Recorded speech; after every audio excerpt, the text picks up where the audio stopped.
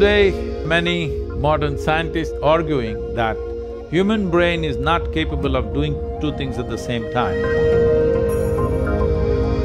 I am a living example that they're all wrong. I have 12, 14 tracks running in my mind all the time. Intellect is only the surface aspect, it is a veneer.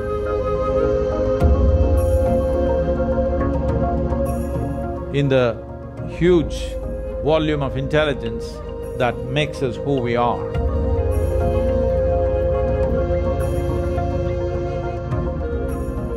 If you look at the evolutionary dimension of life upon this planet, why a human being is dominating this world, though physically we are weaker than many other creatures on the planet, is simply because in some way we have become more competent than others. So the competence of being human is greatly reduced when there is no clear distinction between what is memory, what is imagination, what is sleep, what is wakefulness. There are five major points of receptivity in one's mind. These are centers of memory, centers of imagination, centers of right perception, centers of perversion, and centers of sleep. If you practice classical yoga, these five dimensions will be distinctly separate in your experience. If it is not separate, what happens to you is, when you want to remember something, your imagination plays havoc with your memory. When you want to imagine something, your memory will constrain you from really proper dimension of imagination. When you want to sleep, you will have dreams. When you want to be awake, you will fall asleep. This causes a whole lot of confusion and inefficiency of life. I'm not talking about you being efficient in your profession or in your office or wherever else. That also, yes, in that way also it manifests, but more than that, inefficiency of life. When I say inefficiency of life, this life will not function with the effervescence and exuberance and exploration that life is, that it can explore many dimensions within itself. This possibility is greatly re reduced simply because this mix-up has happened in people's experience of life. Classical yoga is very, very focused on separating these things. If you separate these things, you can become what is called as an avadhani.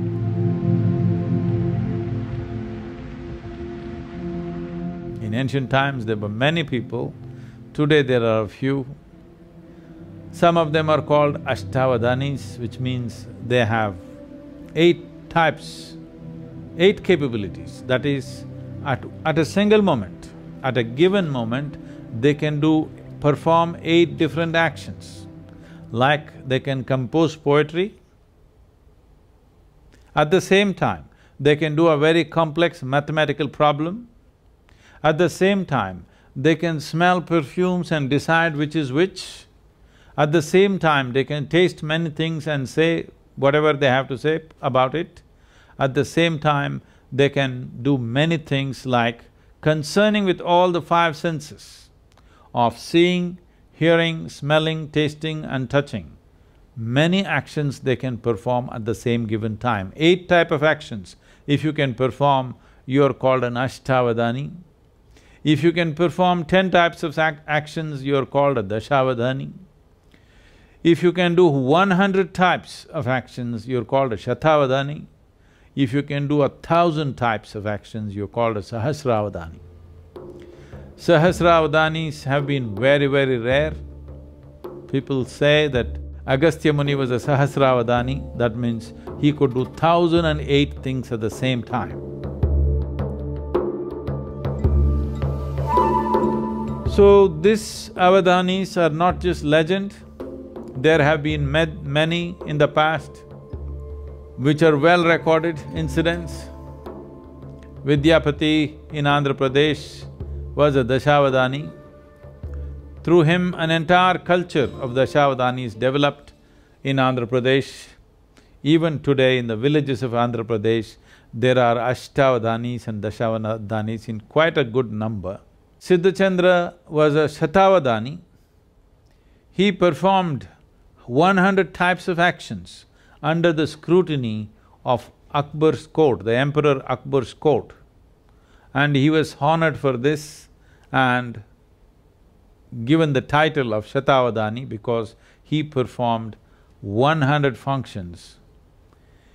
And in modern times, there have been people who have performed one hundred different actions, like Ravichandra Bai, who was a Gujarati Jain, who is a Shatavadhani, Tirukural Ramakanaga Subramaniam was Shodasavadhani, that means he performed sixteen actions at a time. These are all documented incidents, but there are many others who come from certain tribes who've been doing this. It used to be a common thing in India that people would come and set up a small situation in the village where a few hundred people gather and they would perform many actions at the same time which look quite miraculous. But this is just to demonstrate the capacity of human memory because human memory is not limited to articulate memory that we are talking about. Articulate memory is just a thin layer, the rest is a profound dimension. Our body carries a trillion times more memory than what you can articulate in your mind.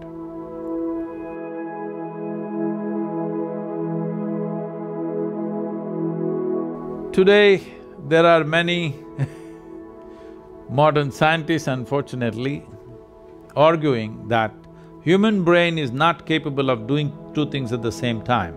You can do it best only if you do one thing at a time. I am a living example that they're all wrong. I have twelve, fourteen tracks running in my mind all the time. Do I look distracted, disturbed or stressed because of that? No. You can perform any number of things because of this. It is not even that you have to consciously pay attention to it. If you open up a certain track and leave it, it goes on by itself. This is the nature of… nature of human intelligence. You are not sitting here and conducting your renal functions or your liver functions or your spleen working or not, you're not doing this. Aren't all these many things happening at the same time? Isn't there an intelligence within us which is capable of doing all these things? It is just that most human beings are understanding human intelligence as just as intellect. Intellect is only the surface aspect. It is a veneer in the huge volume of intelligence that makes us who we are, because we are made from within. All the intelligence that is needed to create this body, to create this life is intrinsic to us. It is not something that happens from outside. It is intrinsic to us. It is just a question of excess. If you want a living intelligence, if you want to exist as a living intelligence, one thing you should not do is, you never ever form an opinion about anything. That means you're always an active intelligence, you're looking at everything the way it is. An opinion means you have given up your ability to experience, you have become opinionated or an impression of the past is overruling the reality of what is there right now. This is what an opinion is. But unfortunately, we have created societies where unless you have an opinion, you're considered dumb or stupid because you have no opinion. But that's the smartest thing you can do, that is the most intelligent thing you can do is that you did not subscribe to any opinion, you're willing to look at everything just the way it is.